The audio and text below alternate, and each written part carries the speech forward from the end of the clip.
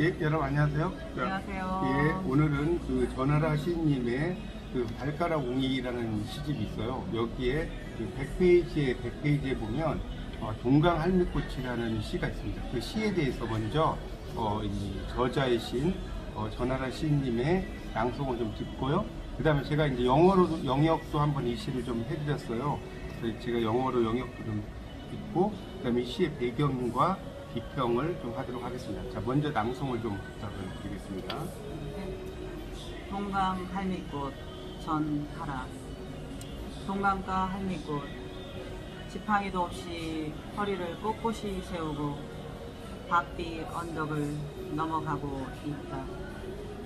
냇가에 비치는 뽀얀 얼굴 일찍 시집가서 일찍 손자 얻은 신세대 할머니인가 보다 어깨를 스치며 그녀 옆에 선 테너의 봄 벚꽃잎 빗금을 그으며 축제를 알린다.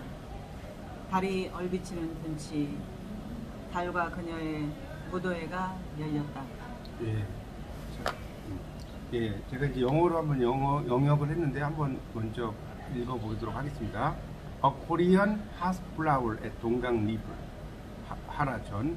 A Korean Pask Flower at 동강 River keeps her back straight without a cane.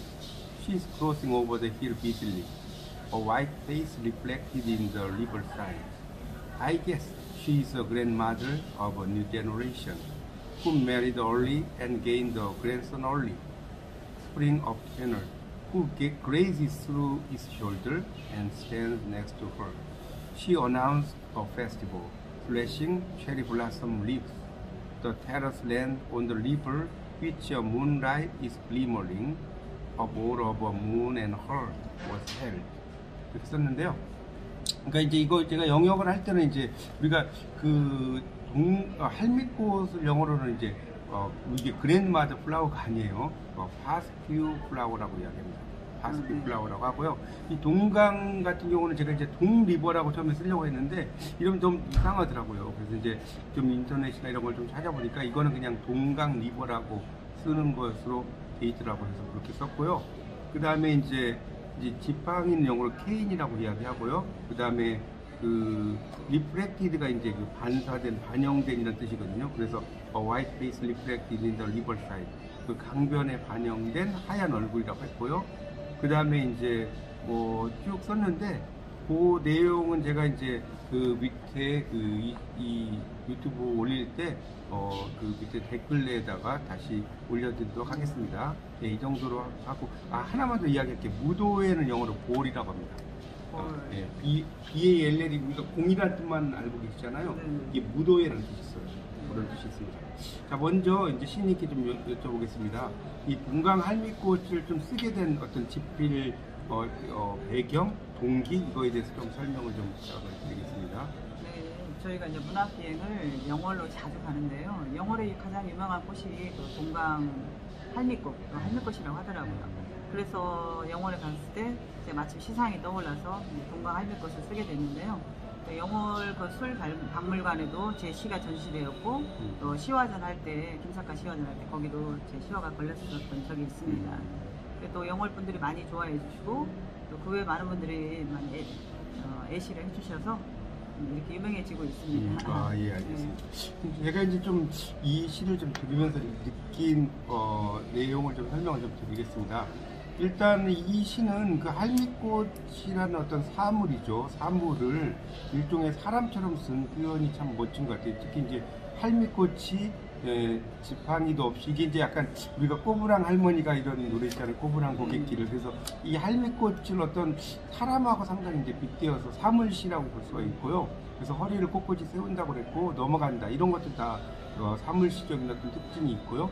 또 이 얼굴이라든가 이런 또 신세대 할머니라든가 이런 표현들이 전부 다 어, 사물시의 특징을 다 잘 알려주고 있는 것 같아요. 그리고 어, 이 달과 그녀의 특히 이제 마지막 연에서 어, 달과 그녀의 무도회가 열렸다라는 것이 이제 상당히 좀 뭐랄까 서경적인 그 서경적인 어떤 묘사라는 것을 알 수가 있는 것 같고요.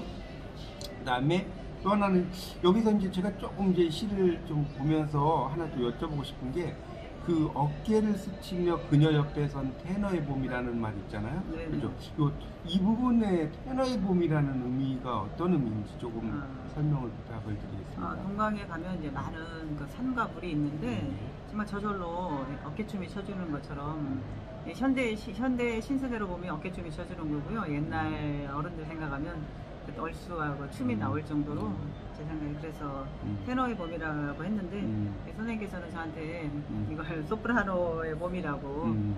말씀해 주셔서 다음에 그렇게 좀 어, 수정할까 아니, 해요. 그러니까 테너라고 하면 이제 우리가 남성의 이제 네. 아시다시피 그 우리가 베이스, 뭐 바리톤, 테너 이런 게 있지 않습니까? 네네. 그러니까 그런 의미로 쓰니까 뭐 아예 테너도 나쁜 네. 의미는 아닌데 네. 뭐 성악가라는 의미잖아요. 네네, 성악가의 맞아요. 어떤 소리 이런 의미니까 예.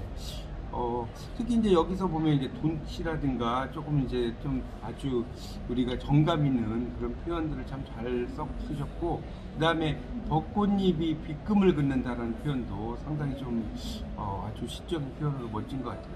벚꽃잎 빗금을 그으며 축제를 알린다.